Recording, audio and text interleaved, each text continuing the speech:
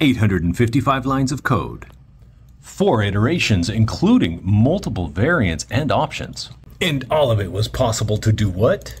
ASCII animations in MS DOS command prompt. Oh yeah, baby. Anybody else love this stuff? Come on, let me know in the comments. This is straight up old school.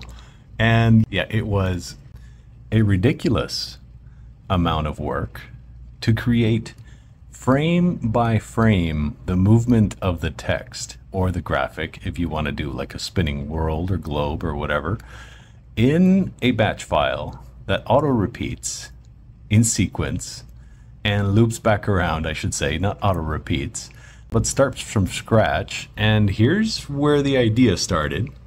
Now I did add ping localhost number one null as a slight little pause between actual animations and then uh, clear the screen between each frame, just like an old animated movie. And here you go. This is what you end up with.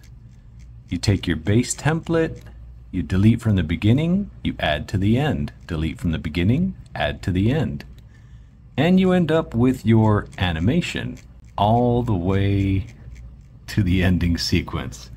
After that, you loop back with a go-to logo, which is actually the beginning of the screen. Uh, was it worth it? Uh, it definitely.